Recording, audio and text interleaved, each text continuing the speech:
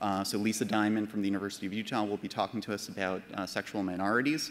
Um, so very, very timely topic. Uh, Joseph Gone will be talking to us about uh, alternative psychological services, so highlighting the, the importance and attention to Native Americans uh, in, in uh, informing our psychological interventions. Mikki Hebl will be talking to us about gender discrimination in the workplace which is a, a critically important and presidential candidates matter. Uh, and finally, we'll be shifting from research-based talks to something that, that is quite critical for the field. Enrique Neblett will be talking to us about how to actually take steps to increase diversity amongst psychological scientists themselves. So one of the best ways of addressing diversity is by increasing the diversity amongst the individuals themselves. So I'm very, very much looking forward to all of these talks.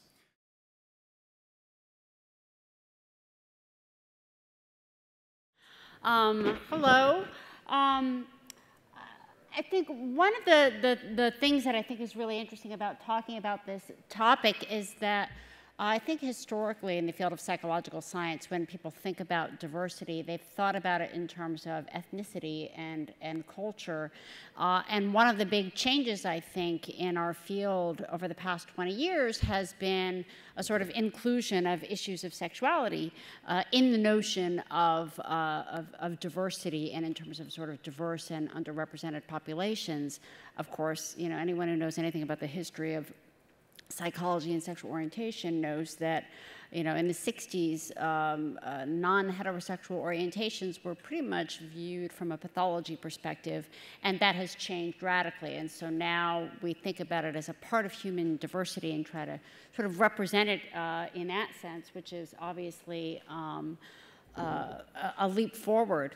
Um, however, one of the things that has proven sort of tricky over the years as our expertise in this area has grown is that the definition of the population that we're talking about uh, has gotten complicated. Uh, I think in, initially in the in the 1970s, we thought about sexual orientation as being a matter of you know there were lesbian and gay individuals and there were heterosexual individuals, and that was basically what we were talking about. Uh, then you know people sort of temporarily discovered bisexuals, you know, in some time in the late 70s, but they, you know, we continue to deny that they exist, and that'll be a lot of what I'm talking about today.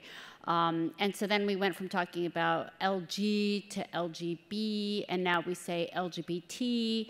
Uh, during the AIDS crisis, uh, when, when it was discovered that not everyone having sex with the same sex identified as gay, they use terms MSM, or men who have sex with men, women who have sex with women.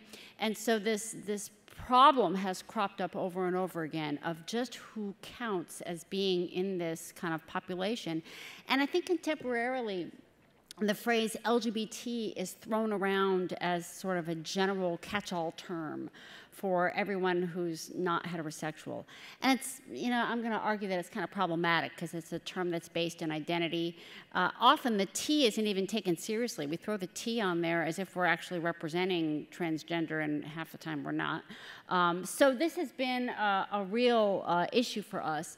Uh, I think among folks doing research on these populations, we tend to avoid terms like LGBT. We tend to use terms like sexual minorities, which are not perfect uh, because, you know, you know, for a million reasons, no term is perfect. Uh, but I think one of the reasons that that term is often used is that the, the basic idea is that we may not know why someone is having sex with the same sex or whether they're just attracted or behaving or identifying. What we do know is that any aspect of same-sex sexuality uh, violates the sort of mainstream cultural assumption of heterosexuality. So um, you're a sexual minority if you are pursuing or experiencing something in your sexuality that places you out of that mainstream model. Uh, and that is something that, you know, can, can generally, you know, uh, apply to almost anyone in that category. And that's why that term uh, is often used. Um, what we are now sort of more aware of than ever before is just how much diversity there is within the sexual minority population. I think historically we have focused on a particular type of sexual minority experience typically an exclusively lesbian and gay experience. And we haven't known uh, just how common variations from that trajectory really are, and that has really posed uh, problems. Um, and you know, I think one of the reasons that it's it's relevant to sort of be clear about terminology is that the terminology we use, for example, LGBT or the lesbian and gay population, and I say that with like a, a, bit of irony, although I'm a lesbian. It's like, you know, I'm not being like down on lesbians. I am one, but I still think that the, you know, when research focuses exclusively on uh, a certain type of experience, we end up excluding a lot of other types of experiences. Uh, and we tend to, with our terminology, we tend to make a lot of assumptions about what the phenomenon that we're looking at is really all about. And those lay theories have really started to kind of pull apart at the seams a little bit, and so I think it's important to question those. Uh, I think historically we thought about sexual orientation as a very stable trait that individuals were born with, that emerged around adolescence, um, that um, you know sort of targeted your sexual desires exclusively to the same sex or exclusively to the other sex uh, and that remained stable over time. So that when you were talking about lesbians and gays, you were talking about a distinct group of individuals, and that population was, you know, a fixed uh, population. Um, I think the, the reason that the problems with that model are important is not just for folks who study sexual orientation, such as myself, but that, you know, when we have that lay theory about what sexual orientation is really like and what that population is like, it really shapes the kind of research that we do, what we consider to be a legitimate or interesting research question. Uh, it influences the types of services that we think are necessary for that population, the sorts of legal protections that we think are relevant or important, uh, and it, it shapes who we think sort of qualifies as being in that population and sort of worthy of attention. Uh, I think the marriage example is, is a really great one. You know, bisexuals uh, were completely missing from the debates about same sex marriage. Why? Because, well, they had the option of getting married to another sex partner, right? So, the, the sort of classic narrative that you heard, and even Justice Kennedy actually said this in the Obergefell decision uh, at, at some point in like lofty language. You know, he says, like, marriage is like one of the most like sacred experiences of your life and uh, and lesbian and gay individuals are like doomed to suffer a life without marriage, you know, if we don't give them the right to marry. Now, I'm, I, I love the Obergefell decision. I'm glad, you know, I'm, I'm legally married and I'm really excited about it. But this idea that A, you know, anyone who doesn't get married is like doomed. and B, that, um, that basically the only people who were suffering from an exclusion to marriage were these lesbian and gay people who, if they couldn't get married, you know, were doomed. It's like, where were the bisexuals, right?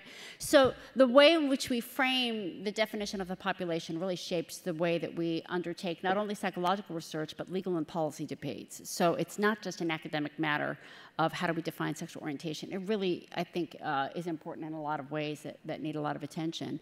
Uh, and we now have more data than we've ever had before uh, that shows us just how wrong we were about who was in that population and, and who we thought that population was, and that's largely what I'm going to be showing you today. And I'm hoping to like shock you because, and if you're shocked, you should be shocked because even even my fellow researchers in this field, I think sometimes don't fully come to grips with how wrong we've been because it requires us being like, wow, we did a pretty bad job at, at you know, doing this. Um, so the, the new views of the population that I'm going to sort of show you some data on, uh, and I won't focus so much on the developmental aspect, but the truth is that not all individuals with same-sex attractions have experienced them from an early age. So although Barbara Walters always likes to ask gay people, when did you know? Like, when did you? And the right answer, of course, is, oh, from, from when I was five, right? There's plenty of people who knew from age five, but there's plenty of people who didn't, right? And we have sort of sent the message that if you didn't know at age five, you're somehow not an authentic gay person, right? And that's just not true because the, the age of expression is incredibly diverse. Um, not all individuals with same sex attractions experience them consistently over time, right? This is the biggest bugaboo, right? It's not supposed to change. Well, I'm going to show you some data today that will knock you on your butt because it changes. Changes a normative part of the sexual minority experience that we've done a really bad job understanding and representing. Non exclusive or bisexual patterns of attraction are incredibly common. In fact, they are more common than exclusive patterns of same-sex attraction, which makes the exclusion of bisexuals like, you know, almost criminal at this point. Um, not all individuals with some aspect of same-sex uh, sexuality identify as LGBT. So when, every time we use the phrase LGBT, we're kind of excluding folks who don't necessarily identify. Uh, and I think back in the in the 80s and 90s where we're like, if you don't identify, you're a self-hating person. Nah, not, there's lots of reasons that people don't necessarily identify, and especially the younger generation have rejected like all labels, you know, and so we need to be sensitive to the fact that identity labels will miss uh, a lot of individuals. Uh, and these are more than just a few outliers, right? I think historically we've always been aware of, of folks who didn't fit the classic lesbian and gay mold. And we've been like, oh, well, of course, there's always a few exceptions. And if there's just a few, we don't really need to radically question uh, how we're doing this research and what we're doing. But uh, there are more than just a few, you know, and, and if there are a lot of these unusual cases, I really do think it calls into question how we've been doing this research. And I'm going to show you today just how prevalent changes in same-sex attractions are over time and how common non-exclusive patterns of attraction are. Um, okay, so some of the best data that we have on change over time comes from the National Longitudinal Study of Adolescent Health, which is the largest uh, representative uh, survey, longitudinal survey I think that's like ever been done on sexuality. Um, these are the sort of you know details of the waves, and it's still going on. I think they've they're done with wave five, I think, and wave six is already underway. This is over 20,000 adolescents although by the time you get to the folks who've stayed in it, you know, and have, you know, accurate sexuality data through all four waves, it's more around 12,000, but that's still a pretty good sized sample. Um, and again, this is random representative data, so this is a really good snapshot. The kids were around age 16 and 17 when they were first studied, and they're now in their 30s, right? So this is really gold standard data in terms of accurately tracking prevalence and change of same-sex sexuality from adolescence to uh, young adulthood. Um, they asked questions about their romantic attractions. They weren't allowed to use the word sexual back in 1994. But generally, most kids kind of knew what they meant, and, and the follow-up research said that they interpreted romantic as being um, sexual. Uh, and then they ended up asking questions about identity later on. Um, so I'm going to show you the percentage of the sample that reported same-sex attractions at each wave, right? And if same-sex, if, if the LGBT population is a fixed population that never changes, then these should be the same at each wave, right? It should be a fixed population that just is always there. And no, it's not. Uh, this is the size of the same-sex attracted population uh, at each wave of data collection uh, among women and men, and you'll notice that it's not the same. Uh, and it's not just tonically increasing, it's not just like more people are coming out. The truth is that at each wave, some people stop reporting same sex attractions and other people start reporting same sex attractions. Um, if you look at the overall pattern over time uh, and look at whether people consistently reported attractions or inconsistently, uh, across those four waves, you find that you know you have three categories: never reporting those attractions, sometimes reporting those attractions, or consistently reporting those attractions, right from adolescence to young adulthood. And what you find is the majority of girls and boys, right, are exclusively heterosexual. They never report any same-sex attractions. Then you've got around 20% of girls and 15, 14% of boys who are sometimes same sex attracted, but then in other waves, they're not same sex attracted. The population that is consistently same sex attracted the whole time is 0.3%. No, not 3, 0.3, right? So the most common type of same-sex attraction is an inconsistent experience, an experience that changes over the course of development, not just due to adolescent fluctuation, right? These kids are getting into their 30s, right? So it's, it's much more common than we used to think. Uh, there have been other comparable studies, uh, also with large samples, that have found similar results. Uh, the gut study, Growing Up Today study, these are the children of the nurses in the National Nurses Health Study, the National Survey of Midlife Development, 2,600 folks, the Dimsdale Mental Health uh, Survey in New Zealand. Uh, I have a table that shows the rates of change in all of them, but I don't have time to go through it. All I can tell you is that this is not a fluke of Add Health. You find comparable rates of change in self-report sexual same-sex attractions over time in, in all of these studies. So I'm not going to here, just to just overwhelm you. Um, the thing, the column I want you to focus on is the second column, the percentage of same-sex attracted folks that report change over time across waves. Uh, look at those percentages, right? So far more individuals are reporting change than not reporting change. Um, basically, it shows that variation is a normative part of the sexual minority experience.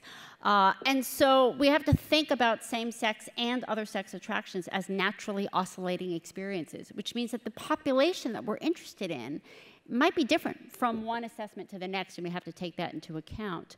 Um, why is there that much change? The answer is pretty simple. Uh, it ha largely has to do with bisexuality.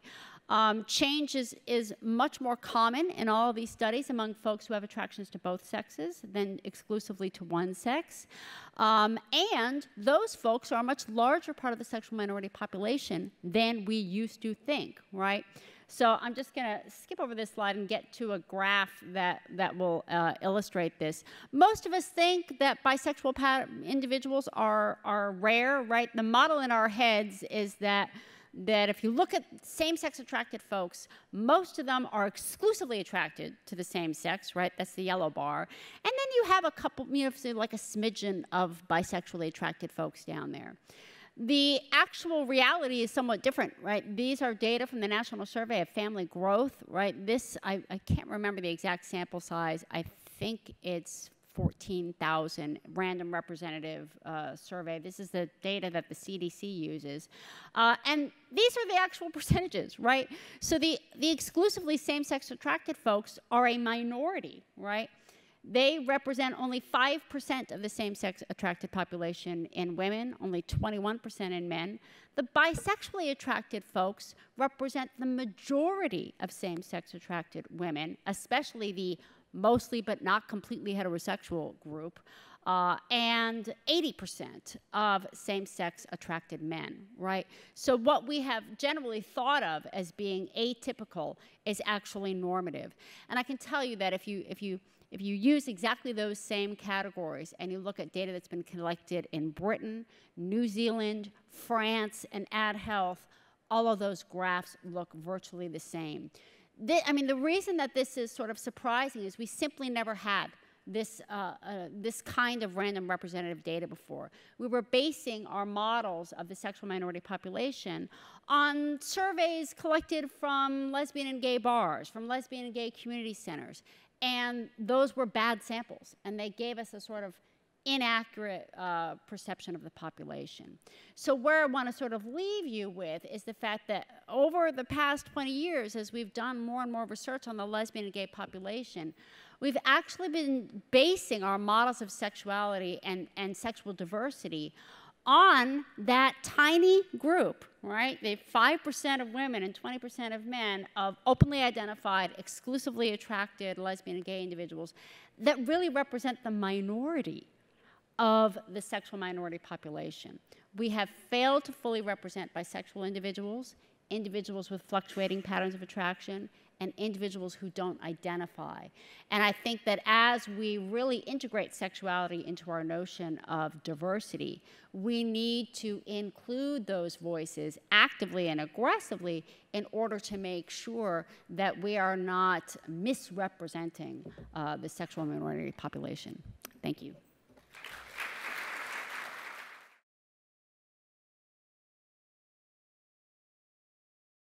It's a pleasure to be here. So thanks to Tom and to Pamela on the program committee for making this uh, symposium possible. I'm going to be talking to you today about considering alternative or alternative psychological services, re-evaluation of cultural interventions for indigenous communities. I say re-evaluation because I think there are some default uh, perspectives that people might bring from psychological clinical science to the particular dilemma I'm going to talk about, and I want us to rethink some of those assumptions. I really have four goals for us today uh, in this very short time is to describe a post-colonial predicament that vexes mental health services for American Indian communities, to consider seriously the indigenous claim that, quote, our culture is our treatment for resolving this predicament, to assess the prospects of culture as treatment from a concrete application within an indigenous treatment setting, and to trace the key implications of this approach for a more general application of clinical science to diverse populations. Let me start by describing the post-colonial predicament. On the one hand, when it comes to indigenous community settings, you have urgent community needs. Uh, that is, these are impoverished, high risk settings, and we have a history of documented disparities or inequities in mental health status. These include things that you're familiar with, like substance use disorders, trauma and its uh, after effects, and suicide. On the other hand, the mental health services that are on offer for these communities are incongruent uh, in a couple of different ways. For example, one early respondent I talked to who was a grassroots traditionalist living on a reservation told me that going down to the behavioral health or mental health clinic on the reservation was akin to an invitation to the white psychiatrist there to, quote, brainwash me forever so I can be like a white man. In other words, there was recognition that mental health services themselves come packaged with politics, ideology, and culture in a way that this uh, respondent was attuned to. And this kind of concern about the cultural uh, leanings or um, assimilative properties of mental health services have been attested to by community anecdote like that, but also research evidence of various kinds. In the largest PsychEpi study ever done, for example, it was found that even the majority of some Native respondents in certain reservation communities preferred uh, traditional healing rather than mental health professionals for assistance in times of distress. And in a large-scale survey in the upper Midwest, uh, rating service preferences, American Indian respondents tended to rank in the top 10 non-professional kinds of help, but instead instead healers and elders and community members. So, in terms of thinking about this post colonial predicament, we have to, I think, first recognize that all clinical intervention is cultural prescription.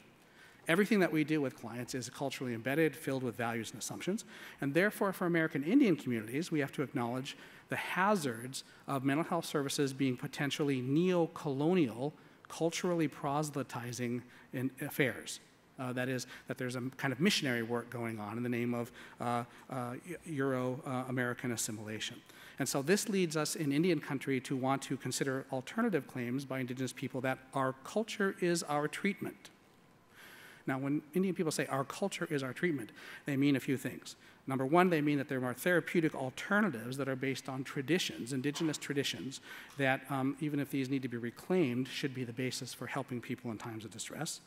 They are adhering to or expressing a holistic rationale that's grounded not just in psychological or in physical kinds of symptoms and their solutions, but primarily in religious and spiritual kinds of affairs.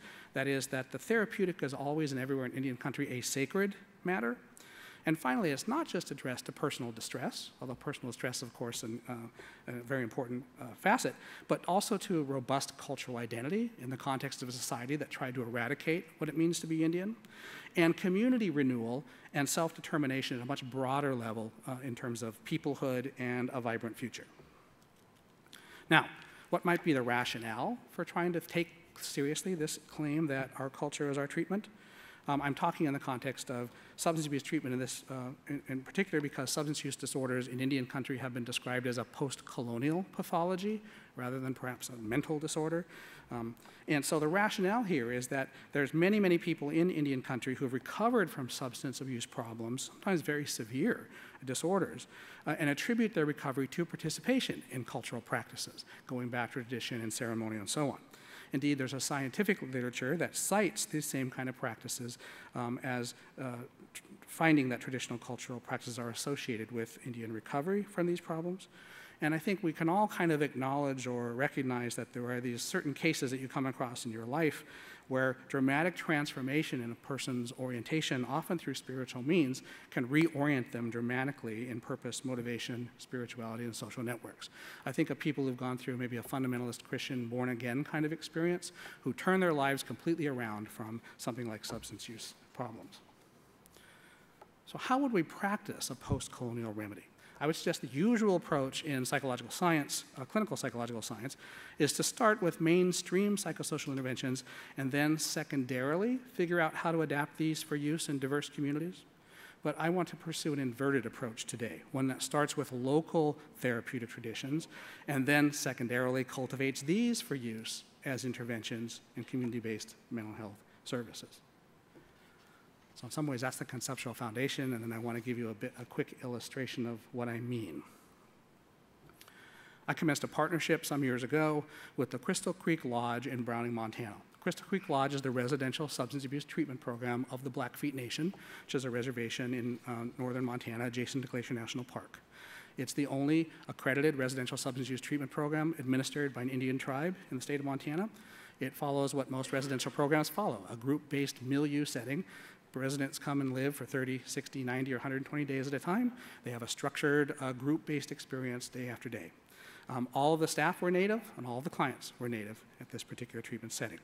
I began a dialogue in spring of 2008 talking about this inverted approach, how would it be to take and look at indigenous cultural therapeutic traditions and then figure out how to harness those, and uh, to work together in August of 2009 with some key stakeholders in the program to formulate an alternative Blackfeet treatment model. And in doing this, the staff there uh, basically uh, consulted with uh, certain Blackfeet ceremonial bundle keepers on the reservation and enlisted the support of the grassroots traditionalist society known as the Crazy Dogs for help in developing this. We came up with a radically alternative treatment model, which was basically a summer cultural immersion camp designed for treatment clients facilitated by members of the Crazy Dog Society who were not trained in substance abuse treatment, but whose expertise instead lay in cultural and ceremonial affairs. The goal was to socialize clients explicitly into the old Blackfeet religion and the tacit or implicit understanding of why this would be effective locally was that healing and recovery come from spiritual practices that harness and circulate sacred power for life giving benefits. So, therapy is always and ever a sacred endeavor in Indian country, and that was true here as well. We piloted this Blackfeet Culture Camp in the summer of 2012, just a proof of concept. Had no idea in sketching this out and working with these interesting constituencies whether clients would even come, whether they would even whether it would come off in any way that seemed uh, like what we had imagined. It was sponsored by the lodge itself. It was staffed by the Crazy Dog Society members. And we were fortunate to get four male clients who were willing to go for, through it for a couple weeks just as a proof of concept. The camp was structured across three forms of activity what I call traditional skills, cultural practices, and ritual participation. You can see the different kinds of skills here. For example, we had to set up the camp on the first day, which meant putting up all the teepees. And that is a traditional skill in and of itself because most people don't know how to put up a teepee, and it's not exactly easy. The one at the end I'll talk to you about there of this list is collecting a niskim. Niskim are fossilized shellfish that have a sacred significance. They're understood to be holy in Blackfeet society. You can pray to them and they can help you. That was one of the activities. Cultural practices include the things you see, storytelling, finding out about your ancestry, and so on. And ritual participation was really important. Uh, the pipe ceremony was key. That's how the camp started and ended. The sweat lodge was the second thing we did, uh, which was to spend a whole day putting together a sweat lodge and going through that. And then the Crazy Dog, as a traditional ceremonial society, had certain rights, like a transfer right, that they involved clients in as well. Oops. Uh, the ethos of the camp was one in which uh, you can see the list I have here. A leisurely paced rather than regimented in the way it was back in the treatment center for people who got up at 8 o'clock and went to bed at 8 o'clock. Uh, was much more loosely scripted. It didn't have a schedule with everything on it that you had to do. Uh, basically, the leaders had a number of activities they had loosely scheduled out. If rain came one day when you had to be outside doing something, they switched a different activity or something else fell through. Really important, I want to under, underscore how uh, it was sensitively guided. The particular Crazy Dog members who facilitated this were really flexible and pretty open minded and very interpersonally skilled. And so that was, I think, very important for the success of this endeavor because I suppose every spiritual tradition has fundamentalists, and if you had had someone who was really rigid in that role, I don't know how well clients would have taken to it.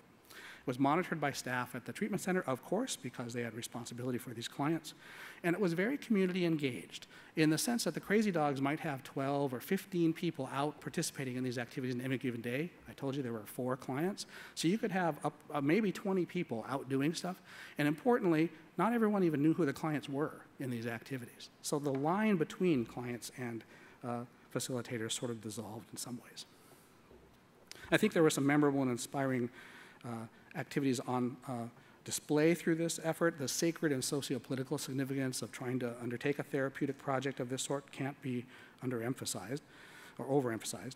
Um, it was unrecognizable as a form of psychosocial treatment. No psychoeducation, no skills, no invitation to reflect and look inward, the usual things that go with psychological mindedness and those sorts of approaches to treatment. Instead, it was very much centered on traditional spirituality and religious experience. And among the Blackfeet, that's all based on the sun and the power of the sun, Natosi. It promoted a genuine sense of community and belonging, uh, it bridged historical discontinuity for its participants between pre-reservation ancestors and the current modern Blackfeet life. It erased boundaries, as I said, between clients and staff in really important ways.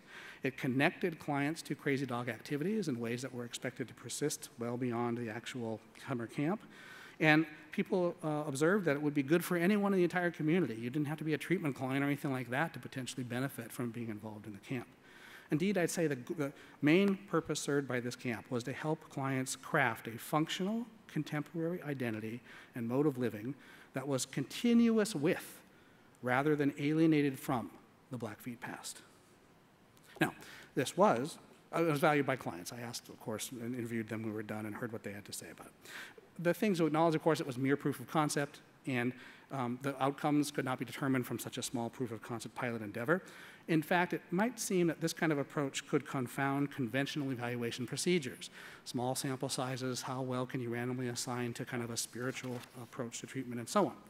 Which means that there are several crucial questions that remain uh, for this kind of approach. Uh, empirical questions include can processes linking culture and recovery in Indian communities be harnessed and deployed as treatment? Is cultural immersion enough to truly remedy substance abuse across a range of addiction severity? And of course, logistical questions as well. Can scientific evaluation of culture as treatment projects overcome small sample sizes, constraints on random assignment, and so on? And can development, implementation, evaluation of culture as treatment projects successfully compete for research funding? In conclusion, I just want to observe that Indigenous communities frequently exhibit alarming disparities in mental health problems. And yet, community leaders routinely decry mainstream psychological services as ineffective and irrelevant on cultural grounds. Instead, in the wake of European colonization, many indigenous communities assert that our culture is our treatment, often with specific reference to indigenous spiritual traditions and practices. Although clinical scientists might dismiss such claims as impediments to effective service delivery, the overlooked cultural and political value of such interventions suggests that these could be broadly therapeutic in their own right. Thank you.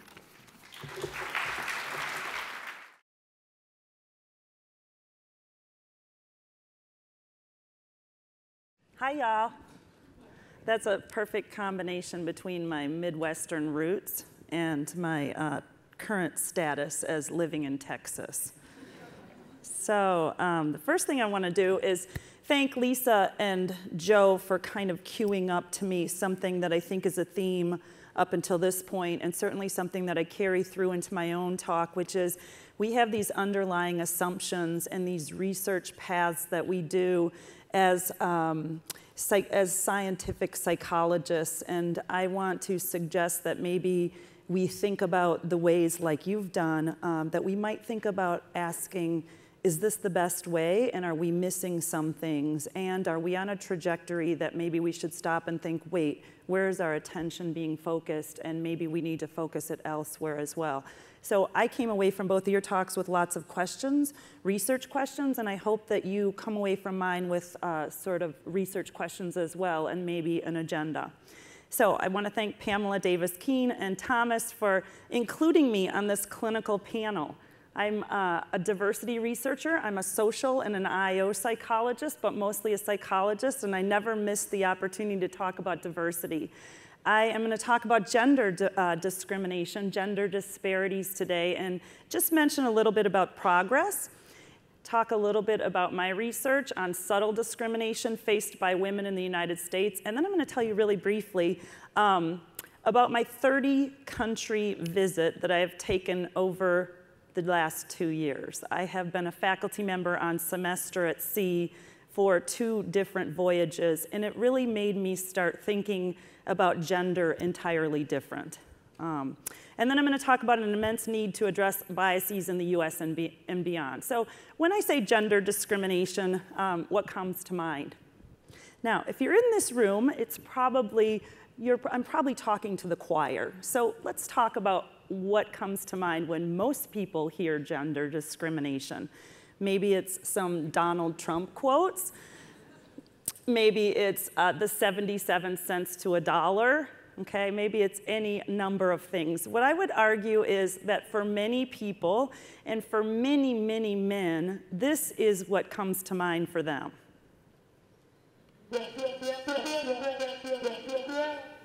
Okay? So I want to talk about this and challenge this and talk about why each of us in this room should have some gender approach to our research, and we should be talking about and advancing theory in many different ways on gender, both nationally and internationally. So currently, let's start with the US laws. There's many that prohibit gender discrimination. You can see some of them here, and the EEOC prohibits policies across the employment cycle. So you can't discriminate in job advertisements, recruitment, applications, hiring tests, layoffs, training, pay, and benefits. If we look at progress, and we can look at it a number of different ways, one might be just by looking at the cases of sex discrimination that are reported to the EEOC. And if you look at what I've circled, what you see is a constant trend since uh, 1997 of there being a pretty leveling off of cases. So in some ways, we might say, well, maybe this is a good thing. It's leveled off. It's not on the increase. We can also look at data from the World Economic Forum. This is a Swiss nonprofit foundation based in Geneva. It's an international institution for public and private cooperation, and this brings together lots of people who um, talk about the most pressing issues that are facing the world. And what they do is they put together a list of how progressive are countries in terms of gender parity. So if you look at these blue, can you see, uh, if you look at these blue things, you can see what they score them on is economic participation and opportunity, educational attainment, health and survival, political empowerment. Now, certainly there are other indices, but we're going to stick with this for a while. And if you look at this one, this is United States. The United States is actually 28th, okay? What you see um, the United States doing really well at is educational attainment. So right out here, you can see if it comes to this line, there's parity. So there's the same educational rate. They're also doing pretty well in health and survival. Political empowerment, this is not an anti Trump speech because that's another thing, although you may see threads, okay? But we'll talk about that later. So we're really doing poorly, which is one of the reasons we're really low, okay? But you can get a sense here of uh, how we're doing, and in some ways, the US is doing pretty well. You can also look at this state by state, and you can see that Hawaii, New York, Illinois, Maryland, and Vermont are some of the best, and as you can see, I live in one of the worst, and there are others that are bad. And these, again, are on workplace environment, educational rank, and political empowerment. So we see this is a different than the last um, uh, rankings, but we see these same sort of things being continued. So in terms of empirical research, what do we see? Do we see this overt discrimination? Do we see this subtle discrimination? And we can look very quickly at some pretty um, uh, important findings in the psychological literature. Uh, sometimes there's actually a pro-female bias, or sometimes there's no bias. Okay, now some of this may have to do that we're overutilizing MTurk. These subjects are very, very aware, in my opinion. Uh, sometimes maybe it is real change, maybe it's social desirability and political correctness. We don't really know, right? So what we need to do is look at what, what are the research studies finding. And there are still studies in 2016, in, two, in the last few years, showing that there is overt bias. And my research focuses on this more subtle bias. So I'm going to go through just really quickly a smattering of research that tells you overt bias and a lot of subtle bias is still left. So uh, this is a study by Moss Racusin. These are the first two studies I'm going to talk about are studies um, published in the Proceedings of the National Academy of Sciences. This is a very well-known journal, as you well know, well-respected. In this study, science faculty rated application materials of a male or a female named person for a lab manager position, same qualifications, only thing that differed was the name. Male applicants rated, were rated more competent and hireable and assigned a higher starting salary and offered more career mentoring than the female student. Uh, this was, there was a mediation, so females were perceived as less competent and thereby uh, denigrated. We also see another one in 2014 by Reuben and his colleagues where participants were asked to hire someone for a math task. All, they were done, uh, all that was done was shown a, a picture of the candidate uh, either male or female, and men were twice as likely to be hired for the task, despite there being no gender differences on the actual math test. If we go into more subtle differences and research that's been done in my own lab, we see that if we look at developmental experiences of women in the oil and gas industry in Houston, when you look at the um, developmental experiences they've had, they've had the same number of developmental experiences, but if you look at the quality of those, there's very strong differences. The women and the managers both report that the women are given easier assignments and they're given more positive and less negative feedback. Now, if it's a challenging developmental experience, you might see that as paternalistic sexism, and we certainly do, a more subtle type of discrimination. In some research that we've done in our lab, uh, we also found this more subtle discrimination in recommendation letters. So in actual letters of recommendations for academic positions, both male and female writers use more communal words. This is words like caring, would be a good colleague, sensitive, kind, to describe women than men, and more agentic words for men than women. Now, I should stop and say this is not those men shits doing this to women. This is both males and females writing these letters, okay? So females have this bias as well. And the agentic words are strong, independent, good leader, okay? And the problem is, is those letters with the higher number of communal descriptors were actually judged to be more negative letters. So these very ostensible small differences can make big changes. In a follow-up study, what we did on recommendation letters as well, which is currently under re review, is we found across two studies that there were more doubt raisers in actual letters of recommendations for women than men in academic positions. What are doubt raisers? They're, again, small differences, okay? So people say, she might be good, whereas they say he is good. She has potential skills, whereas he has skills. She may not be the very best, but she is excellent, whereas he is excellent. These are real letters of recommendations. There are many, we've looked at MD Anderson letters, we looked at letters for, from Rice as well, and we see that these doubt raisers are actually reacted to with more negativity. So these small number of words, which we put in another study, actually make a difference. Just these small number of words. You can think about why that might be. Most letters of recommendations have a ceiling effect for positivity. So if you see just a little teeny doubt, it makes sense that people react to that. People are not aware they're using these doubt raisers. They're not aware that they're using more communal words. So these, what I would call more subtle discrimination. We also just finished recently a study looking at colloquium speaker invitations, and we wanted to ask whether males get invited to give more talks than female academicians do. So we looked at department seminars um, from the 2013 to 2014 academic year, and we compiled a list of speakers from websites. We looked at six departments that had relative gender parity, and we looked at the websites from the top 50 universities. And what we found, if you look overall, is that of course there were more men who were, giving who were invited to give talks. And what we find is, well, maybe it's the fact that there are more men receiving their PhDs. You can look at the fields. This is biology, bioengineering, political science, psychology, sociology, and history. Again, relative parity. So we should not see a huge difference. And again, what we see is a significant difference, even after we control for the number of men who are receiving their PhDs and those that are likely to be present at a tier one institution. We also took into account their rank. So maybe it's the men who are older who are getting the invitations. No, it happens at every rank, okay? Well, critics might say, but maybe it's not as important to women to give talks. We did a, a study on, on that as well. We rated, uh, asked these same women, yes, it's just as important for them to give talks. Well, maybe they decline invitations because of family. We asked how many people declined invitations. No difference between men and women. What I'm getting at is these, this picture of gatekeepers or of subtle bias that we're not really aware of, but really does seem to be there. And I want you to think maybe in your own lives where that subtle bias may be as well. So we can root out the overt discrimination, but we still have this subtle bias which has very strong consequences.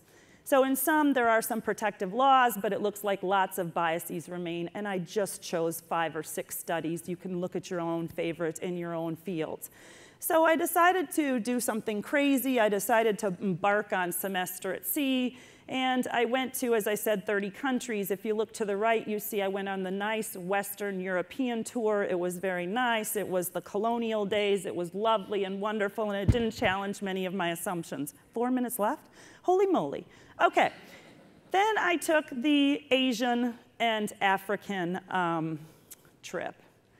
And I looked at what I saw with women. So the World Economic Forum, again, this what I talked to you about, and I told you that the United States was 28. Here's what the best countries are. I can tell you later why Rwanda is on there, but mostly you see the Nordic countries. If you look at the Nordic countries, you know they're on there because they have deep beliefs about equity issues, low salary gaps, high literacy rates, more women in the workplace, more shared distribution of labor at home, days off after a baby, women guaranteed possibilities of returning to work post-baby, 25% work reductions until the youngest child turns eight. This all sounds mighty good to me. Child care subsidization up to 90%. Voluntary quotas that are met so that they don't even have quotas anymore. They're volunteer. They're, they're getting 44% in Sweden. What are my reflections on women in Southeast Asia and Africa travels uh, in the world statistics? Holy shit, okay? So very quickly, here's what I see uh, that are characteristics of countries low on the list. Girls are denied an education, 31 million. We know that girls' education has the hugest impact on GDP, reducing mortality rates, increasing life expectancy, and decreasing discrimination. If you want to spend four hours with an amazing documentary, look up Half the Sky and A Path Appears, Clears unbelievable. You will walk away from that documentary being changed. Two, prenatal sex determination. The most important words um, for survival are it's a boy in many of these countries. It's a girl. Uh, if you go look at that documentary, you see a woman who admits in India that she broke the neck of 11 girls that she bore in a row because they were girls the invisibility of women in the public sphere. If we see that these rates right here, 131 men born to every 100 women, you can understand why there's invisibility of women in the public sphere, not to mention it's not safe. These are pictures that I actually took and you couldn't find actual women in the pictures. Sex trafficking and human trafficking, 21 million women. Child marriages, one third of girls in developing countries. Child abuse, six in 10 women worldwide. 33% of children in Ghana have been sexually abused. Related myths in South Africa 15% of men still believe that having sex with a virgin prevents AIDS. Honor killings, 869 in Pakistan. Female genital mutilation, this is 3 million girls a year.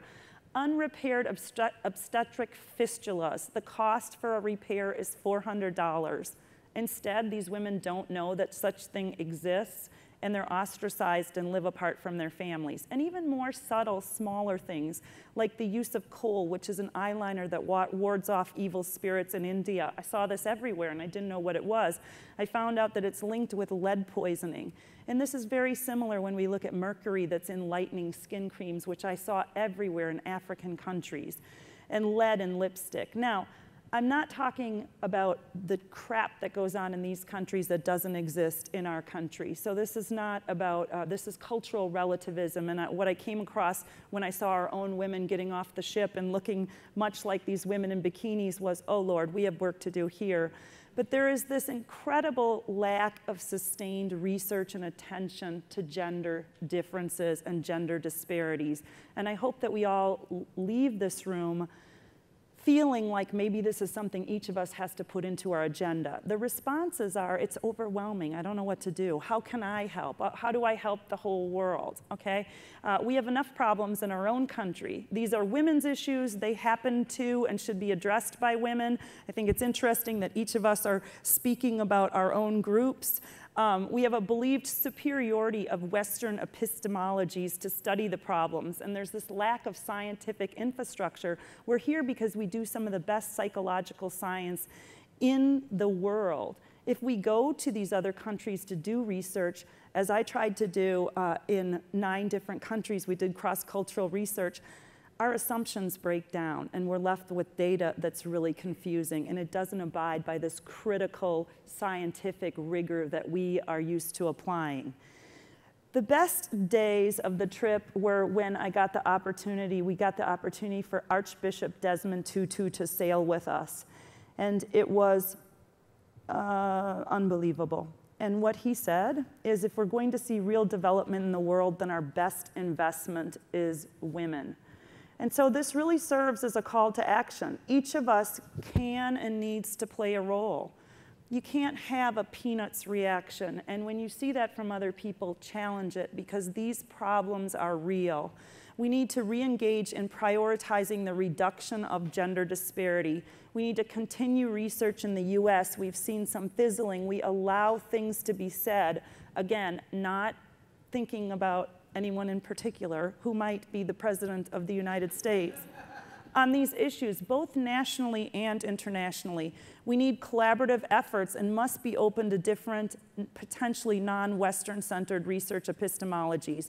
And this is a male issue too. I would love for somebody to get up here and give this talk as a man. And I know there are many good men out there doing such research, but I'm reminded of when I went to a wedding and I met this man, and he was a graduate student at Princeton, and his research was being covered on the Today Show and Good Morning America, and it was really hitting all these newsstands. And I said, Well, what are you doing it on, and what are you studying? And he said, I'm in sociology, and I'm studying how women still bear the brunt of housework. And I thought, wow. Now, do you think that would get the same amount of attention if a woman were covering it? We simply need men to engage in this research. And our own research in our lab shows that males respond to males bringing up gender issues much more. And in fact, males respond negatively to when women bring it up and they hear ma, ma, ma, ma, ma. So it's clear men are needed to bring emphasis to and help in solving the continuation of both nationally and internationally gender discrimination. And I leave you with this quote be the change you wish to see in the world. Thank you.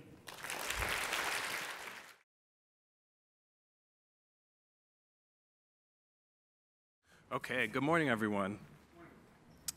Wow, only one person is here, and I thought. good morning, everyone. Okay, that's much better. Um, it's a pleasure to be here. I want to begin uh, by thanking Pamela Davis Kean uh, and the select and the um, committee for the program committee for um, inviting me to be a speaker here this morning. Um, it's an honor to be here and also to um, share the stage with my esteemed colleagues um, here this morning. Here's a brief overview of my talk. I'm going to start out talking a little bit about the inspiration and motivation um, for the talk. Um, I want to pause for a second and think about what is diversity. Um, and then I want to talk about a possible manifesto for diverse psychological science, um, if you will. Um, and so I'll outline um, what some possible principles might be for that. and then I'll conclude with a call to action and conclusion. Okay, so when I was thinking about the title for this talk, I was contacted last fall and invited to speak. Um, and then around January, they needed the title, you know, months in advance. I'm like, I don't really know.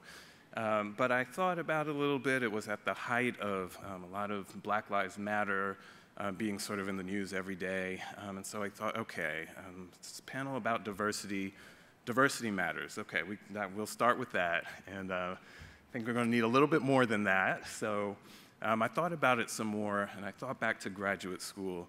I said, what was one of the papers that really was just a, a bold statement that really um, has stuck in my mind and really made me think about um, psychology and clinical psychology in particular?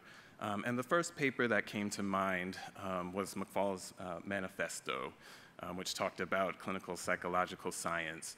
Um, and so in that paper, uh, McFall says the time has come uh, to declare unequivocally that there is only one legitimate form of clinical psychology, uh, one grounded in science, practiced by scientists, um, and held accountable to the rigor rigorous standards of scientific evidence. Anything less uh, is pseudoscience, okay? I thought, wouldn't it be fun, just as an exercise, to think about um, a manifesto in the context of diversity science or diverse psychological science? Um, and so, out of that thinking, uh, this talk was birthed. Before I could think about um, a manifesto for diverse psychological science, though, I had to pause and think about what is diversity?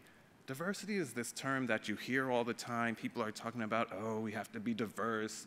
I was like, what does that really mean? And so um, I started by um, just looking through a couple definitions. Um, and some of the first things I came up were with were the state of being diverse. I thought, oh boy, that's not going to help. Uh, so a couple more that were more, you know, sort of these brief uh, definitions, variety, um, the state, a range of different things. Okay, I'm going to need a little bit more to work with here. Um, and so a couple more definitions came that talked about um, diversity as a state or a quality. Um, so the quality or state of having many different forms, types, ideas, opinions, etc. Uh, was striking to me that none of these had race or ethnicity in them, um, although that's how we kind of think about diversity often. Um, the second one, the state of having people who are different races um, or who have different cultures in a group or organization. Um, and then you saw other definitions that talked about the inclusion of um, different kinds of people and experiences. As I looked even further, some of the definitions that um, arose were more sort of active in talking about diversity. So, not diversity as a static state, uh, but something as exploring differences in safe environment, uh, building alliances across uh, differences, um, celebrating differences. And so there was more kind of a active dimension of diversity, moving behind um, tolerance. Um, that was indeed exciting to me. Okay, here are a couple more. Mutual respect for qualities different than your own. Um, and then finally, understanding and appreciating the interdependence of humanity, culture, um, and environment. All right, so after this sort of thinking about um, what is diversity, um, I began to think about how I would, as this exercise, apply McFall's manifesto um, to diverse psychological science. And so um, I began with the cardinal principle, um, which is that psychological science um, that incorporates diversity is really the only legitimate um, and acceptable form um, of psychological science. Um, following McFall's assertion that scientific clinical psychology is the only legitimate form, he sort of mused, what's the alternative? Unscientific clinical psychology? and so I tried on the equivalent for size what would the alternative be? An undiverse psychological science? Um, is there anyone that would openly argue that psychological science um, that doesn't integrate diversity um, is a desirable goal um, that should be considered as a serious alternative? Um, I thought a little bit more about um, what some of the alternatives to uh, diverse psychological science would be, and I thought, well, there's some who argue that psychology is a science of objectivity uh, one of core universals where we try to understand behavior principles that apply to all. Um, and I thought, um, hmm, in light of scientific evidence, that there's so many good things about um, diversity, so creativity, innovation, discovery, better problem solving. Um, does anyone seriously believe that not taking into consideration diverse ideas, opinions, um, would really hasten advances in knowledge? Uh, the alternatives to diverse psychological science, um, it seemed it was hard for me to come up with what a, a, a true, honest um, alternative would be. Um, and so I thought, well, um, this is really something that um, needs to be an integral part um, of psych psychological science. All forms of legitimate activity in psychological science need to be, you know, sort of grounded in the principles of diversity, um, and really competent psychological science uh, really has to be um, a science that reflects awareness of the role of diversity um, in producing knowledge. You know, one of the striking things uh, as I listened to my colleagues' presentations earlier um, is how woefully ignorant I am about other forms of diversity outside of my own with regard to African American race and ethnicity. Um, and so if we really want to consider ourselves to be culturally competent, uh, we have a lot of work to do. okay. McFall talked about the corollaries of the cardinal principle, um, and in the first one, he said that quality assurance is really important, that we've really got to think about the quality of clinical science. And so I tried to extend that to thinking about the quality of psychological science. If we want to make a case for this diverse psychological science, uh, what would that look like? How do we ensure standards um, that the quality um, of diverse science are upheld? And so a couple criteria here. Um, psychological science must consider and capture the full breadth of human experience um, and understand how culture informs worldviews. Um, psychological science must adopt a framework that really values perspective, so not just being about objectivity. Um, psychological science must examine the diversity of its subjects and colleagues. Um, and finally, organizational membership um, and leadership must reflect um, some of the diversity we spoke about earlier. Um, if any of these criteria sound familiar, they're actually extensions and adaptations of my mentor and friend, Dr. Robert Sellers, um, who presented an address um, to APS about a year ago, in which he thought about some of the ways that psychological science should care about diversity. I'll read you an excerpt with respect to the first point. He said psychological science must capture the full breadth of human experience before it can truly say that it understands uh, a psychological construct or phenomenon. If we are really trying to develop laws of human behavior, it's extremely important that those laws be based on data that captures that variability. Um, and so the question of who we're studying is important um, as we think about the more general or universal uh, theories of behavior. He goes on to say um, if we really are engaged in scientific enterprise, we want to understand how and why. Okay? With regard to the second point, he struggled or sort of lamented this idea between how we're taught to be objective in psychological science, but really context matters, that we've got to take into account how individual perspectives and diverse perspective, just because you know, researchers or scientists don't you know, look like us or say the same things that are the traditional canon, that's okay. We should, in fact, welcome that, and that will make us a better science. With regard to the diversity of subjects and colleagues, um, he talked a little bit about the fact that we don't only have to pay attention to the representation um, of subjects in science, but we need to look at um, who are the teams that represent the people conducting the science, um, far too often, even now, 2016, um, I see uh, scientists and investigators who um, are conducting science on populations with no one on their team who has expertise in the population, um, and that to me seems like something we need to think about. Um, finally, I think the last part speaks for itself. Organizational membership and leadership must reflect diversity. So when we look at the leadership of organizations, APS and otherwise, does it reflect um, that diverse, uh, you know, sort of that diversity that we talk about, again, not only in terms of race and ethnicity, but in some of these other dimensions as well.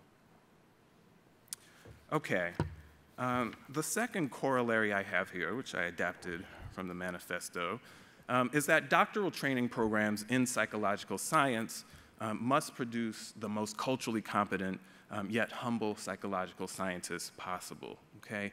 Um, I love our colleagues in uh, public health who talk about not cultural competence, not as something to be mastered, and not that you can ever achieve cultural competence, um, but that really thinking about cultural humility, um, taking a perspective that we don't know everything and we're in a constant state of learning. I think that is a really nice way um, to think about this. How have we done this um, at UNC? I think there are a couple of things that you want to think about um, in promoting the training of diverse psychological scientists. Um, one is you want to see visible signs of a statement um, of commitment to diversity and inclusion. Uh, we have a departmental diversity committee, which I co-chair, um, in which we've been focusing on thinking about um, how do we recruit more diverse faculty uh, to the department. We also have um, a, uh, a uh, clinical psychology diversity training committee, which focuses exclusively on thinking about principles of training in psychology. And I'm going to outline for you um, some specific things that we've talked about there. Some other elements of diverse training of psychological scientists are the recruitment of diverse students and faculty. Um, we've really leveraged in our department um, target, targeted hiring efforts at Carolina. We're regularly looking for folks who are just about to finish their training. We have a list of people we kind of follow and look at as potential faculty members who may be you know, up and coming after they're completed with their postdocs. Uh, many of you may be familiar with our Diversifying Clinical Psychology Weekend or DCP Weekend, where we bring in scholars um, from across the country, a series of interactive workshops where we allow them to prepare or think about um, applying for um, programs in clinical psychology. The most extensive efforts recently in our department have really centered around a specific diversity training plan um, and sequence. And so we've begun to think about what are the actual aspects of training that are critical um, to think about training uh, diverse psychological scientists? Um, and what you see on the next slide um, is um, an outline of what we call a developmental sequence model. Um, for those of you who are interested in any of the details, our program and the diversity committee has just published a paper in the behavior therapist uh, which outlines the specific details of this program. Okay, so um, we begin, uh, before the students even enter the classroom, uh, with a multicultural orientation. Okay, so this occurs um, on day zero before the program begins. Um, and this is an interactive workshop in which we introduce what we think about um, by diversity. We sort of orient students to think about what diversity means. Um, faculty are heavily involved in the orientation program, so we actually do a rotation where different faculty co-lead um, the orientation each year. At the end of the first year, um, all of our students complete um, a cultural genogram. So there's a program where you're thinking about your family of origin and aspects of your identity. Um, and there's an interactive worship workshop at the end of the first year where students work with facilitators and talk about um, how their culture of origin informs um, clinical practice, what they study, so on and so forth. Typically, at the end of the second year, we encourage students to participate in a cultural plunge. Um, so, a cultural plunge is an experiential activity um, where you engage in an unfamiliar activity that really pushes you outside of your comfort zone. Um, so, you might go to um, a mosque and participate in a worship service. You're not coming with, you know, some friends who, you know, represent your particular um, diverse group, but you're really challenging yourself um, to step outside um, and think about diversity from an angle you're not familiar with. In years three and four, um, there's usually one of those years a course in multiculturalism and clinical psychology. Um, so we think about, um, you know, the typical principles of multiculturalism in terms of awareness, skills, and knowledge um, that augments. It's kind of the middle process in between the bookends of the orientation and some of the things that end the program. Um, and then typically in year four or five, um, students are responsible for um, orchestrating or leading um, a multicultural case conference. Again, this is just clinical faculty and students who are present. Um, the students present case material that um, reflects multiple dimensions of diversity.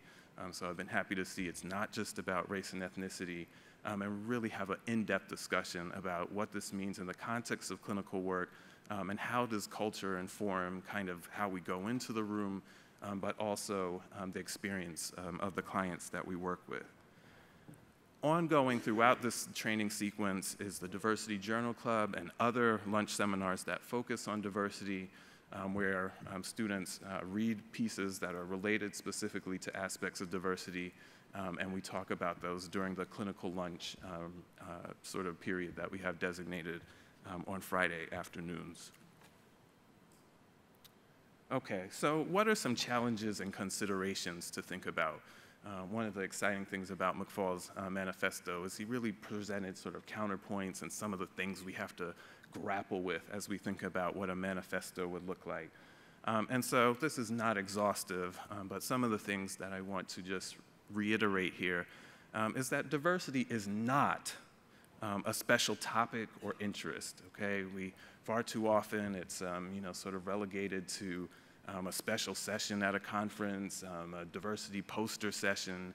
Um, but what I really like to see, and I'm getting a little bit onto the next slide, is thinking it as really belonging to psychological science, not something that's um, a special topic or interest or something that's relegated to a specific poster session, as is typical at some of the conferences that I attend. Um, diversity is not, as we've just seen, um, just race or ethnicity. Um, we are expanding. We've done some work, um, as Lisa pointed out, but we still have a long way to go. There's still some forms of diversity that are, were not reflected um, in the talks today. Uh, even as I listened to the last presentation in terms of thinking about um, American education and how well we're doing, I thought, wow, well, even within that, there's tremendous diversity. Some groups are not doing so well. Um, and so there's diversity on so many different levels.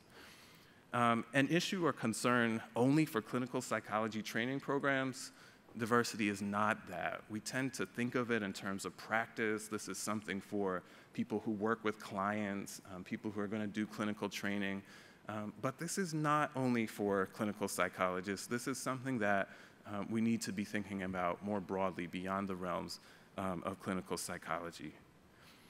Another element is that we often think about things in terms of doctoral level training, um, but um, I challenge uh, my students um, from the moment I see them in terms of a first year seminar. Um, we talk about controversial viewpoints. I don't only present the canon of what my views are on a particular topic. That's not how you engage in diverse psychological science, and it's not how you encourage people um, to think uh, broadly. So there's stuff I disagree with. That's part of what I present my students with and have them read and think about counter arguments. Um, and then finally, I want to make sure to point out that um, diversity is not conforming to lists of courses, methods, um, and training experiences. So oftentimes, we get into this position of uh, marking off things on the checklist or thinking that if we just change, you know, the courses that we offer or if we have diversity on our website that we've arrived. Um, and that's simply not um, an accurate um, or re uh, responsible diverse psychological science. So a couple of other things um, as we move from the checklist approach um, is that we need to differentiate between diverse psychological science and, and pseudo-diverse psychological science, um, which what I, I, would argue is um, one of all of the things I said diversity is not. Um, and we've really got to begin to think about assessment um, as a critical, uh, uh, you know, sort of enterprise in um, how we design training programs. So right now there's very little evidence in thinking about how we um, actually evaluate whether some of the things we think we should be doing, ironically in the context of McFall, McFall um, are things that work. So some quick calls to action here. As I've already mentioned, we've got to integrate diversity throughout training curricula um, and into psychological science. We still have the approach of the multicultural psychology course, um, but we're really at a loss for how do we make this an integral aspect of all of the courses um, that we teach. Uh, McFall made um, a, joke about um, whistleblowers and the emperor not wearing any clothes. Uh, and similar to um, our last presentation, I want to challenge everyone, especially the students who are in the audience, that when you see pseudo-diverse uh, psychological science, that you challenge it and that you call um, programs to um, not just to go below, go beneath the surface. Um, so to be whistleblowers and to call out the emperor not wearing any clothes um, with regard to diversity. What are some training benchmarks um, for producing culturally savvy psychological scientists? So um, a lot of people say, oh, we should do this. Yes, diversity, great. Um, would it not be a good idea to actually evaluate folks and make sure that they are um, culturally competent and skilled and talking about how culture informs um, the science that they do um, and how it informs um, the way they've conducted the research, the way that they've interpreted the research, in the same way that we have comprehensive exams, should there not be a component or element that is make sure um, we are releasing graduates who are knowledgeable and can converse about these issues. What will be required is a thoughtful, committed, and programmatic um, sustained effort toward a diverse psychological science. Um, and before I hit my last slide, I want to uh, read you a quote from the manifesto. McFall said, with regard to his subject, thoughtful attention and commitment to persistent programmatic development as opposed to quick fixes, flashy fads, and short term gains are the way to go. So I believe we need to bring that um, to psychological science. The future of psychological science is counting and, in fact, depends on our ability to thoughtfully and meaningfully integrate diversity into the field. Um, I propose that psychological scientists have a moral and ethical responsibility um, to pursue and promote diverse psychological science as the only legitimate um, and acceptable form of psychological science. Thank you very much. Here's my research team. Um,